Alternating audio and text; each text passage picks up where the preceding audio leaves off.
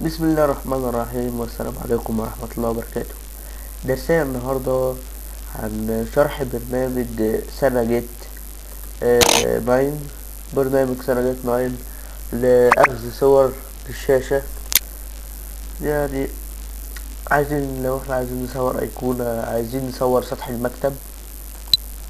البرنامج ده بيساعدنا إن إحنا ناخد صور لأي حاجة عندنا في الكمبيوتر عايزين ناخد لها صورة سواء كانت مشكلة وعايز حد يحلها لك وانت عايز تصورها وترسلها له على الإيميل. إن شاء الله هقول إزاي نصور الشاشة بالبرنامج ده. اولا هتحملوا البرنامج من موقعه الرسمي اللي هو www.sanaget.com آه وتحملوا البرنامج عادي. بعد ما تحملوه هتثبتوه آه وبعدين هيفتح لنا بالشكل ده. دي واجهة البرنامج. هنا عندنا ال region. لو آه ضغطنا على ال region ودوسنا click يمين ونعلم على الأخيرة show labels هنا ال region لو إحنا عايزين نصور جزء معين في الشاشة نحدد جزء نصوره. هدوس على الريجيون واختار كلمة كابشر واحدد الجزء اللي أنا عايز أصوره.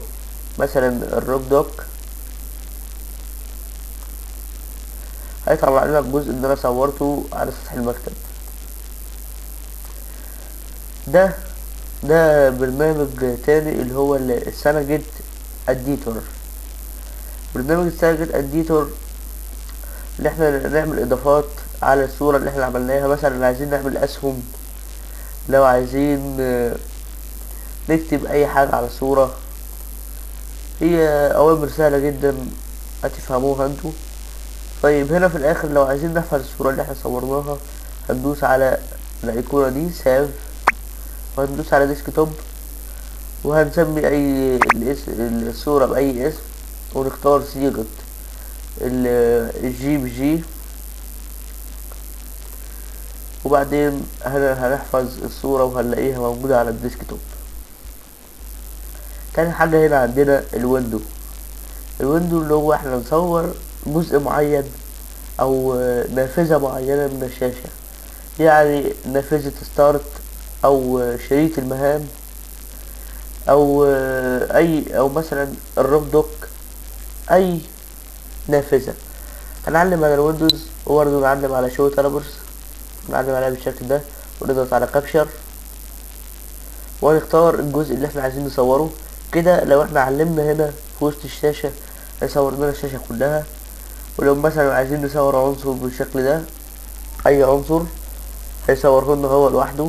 لو عايزين نصور شريط المهام أو نصور الساعة مثلا هنضغط عليها بالشكل ده. هنلاقيه هنا صور لنا الساعة بتاعتنا اللي إحنا صورناها. نلاقيه جابها لنا كده. لكن ممكن تعمل عليها إضافات أو أي حاجة من عندك. وبعدين عندنا full screen اللي إحنا عايزين نصور شاشة كاملة. يعني بالضغط على full screen بنضغط على capture هيصور لنا الشاشة كاملة سطح المكتب كامل بالشكل ده.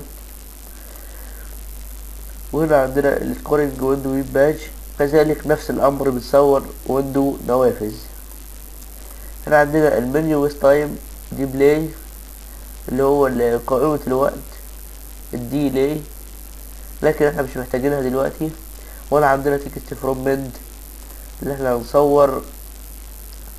يعني أي حاجة عايزينها في الشاشة text كتابة مثلا زي كلمة recording أو Snagit عايزين نصورها.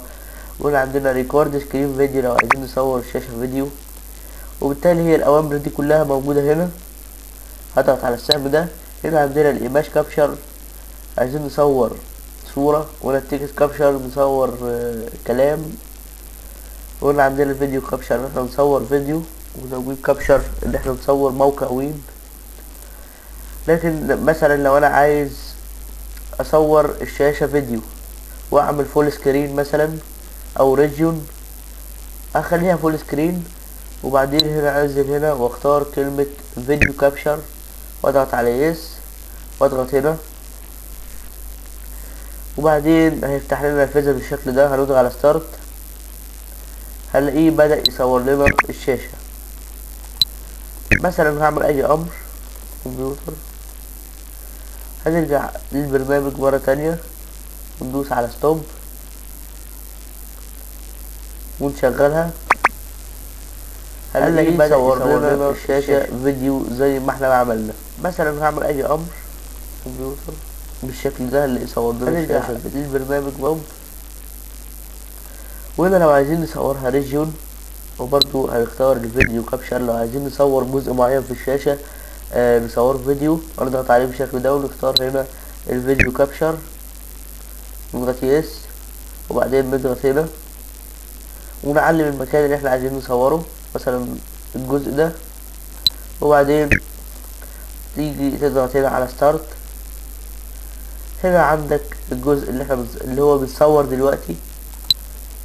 ده الجزء ده اللي أنا بصوره. آه نيجي نرجع على البرنامج. نضغط على stop هنلاقيه فتح لنا الجزء اللي إحنا صورناه بالشكل ده. هنشغله بالضغط هنا على play هنا عندك الجزء اللي إحنا هو بنصور دلوقتي. الجزء اللي إحنا صورناه. ده اللي أنا بصوره. آه نيجي نرجع على البرنامج. والشكل ده عندنا مثلا لو عايزين نصور ال window زي ما أنا ما قلت ممكن نختار window هنا ونختار ال video capture ونصور جزء من الشاشة أو window من الشاشة. وبعدين تعدل عليها برنامج ال Snagit editor اللي هو الخاص ببرنامج ال Snagit مثلا عايز أصور الشاشة كاملة أقول مثلا full screen وأضغط هنا على capture لو عايز أصور صورة دلوقتي أنا هشرح برنامج ال Snagit editor اللي هو برنامج التعديل على الصورة بعد التقاطها مثلا أنا عايز أكتب كلام على الصورة أعلم كده بالشكل ده أعلم كده وأكتب مثلا هلو وعايزين نعدل عليها نكبر الخط مثلا نضغط كليك يمين ونختار أي خط إحنا عايزينه أي حجم هنعلم عليها. ونضغط كليك يمين نختار مثلا اتنين وسبعين هيكتب لنا الكلمة وهيجيب لنا الخط اللي إحنا عايزينه. عايز مثلا أعمل تحتها خط عايز أعمل خط مائل أو خط ضخم. ممكن نغير أشكال الخط بالألوان. وهنا عندنا الأسهم لو عايزين نحط سهم في الشاشة يوضح إحنا هنعمل إيه مثلا.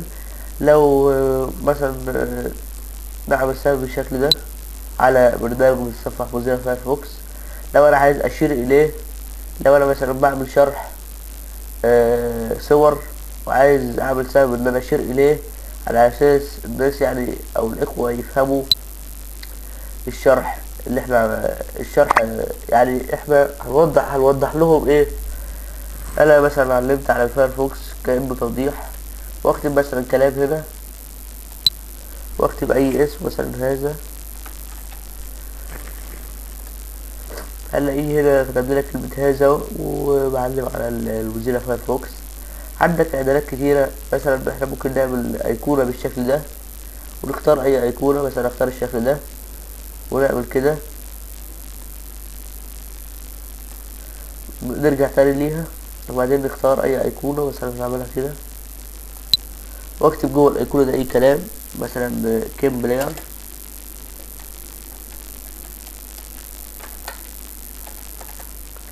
مثلا KMPlayer كده بالشكل ده.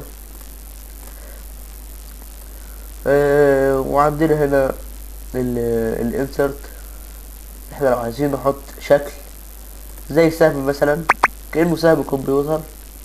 الشكل ده مثلا عايزين نعمل علامة صح كده. عايزين نعمل مثلا شكل مفتاح؟ يعني أي شكل إحنا عايزينه هنلاقي أشكال هنا كتيرة زي الدوائر. الدوائر مثلا ممكن توضح بيها على برنامج معين كده مثلا.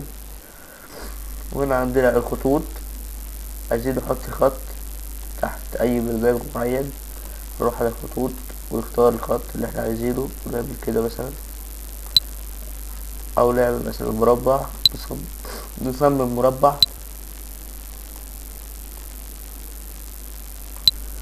وبالشكل ده كده نكون عدلنا على الصورة عايزين نحفظ الصورة بالصيغة المناسبة على إنها يكون حجمها صغير وتكون واضحة وجميلة.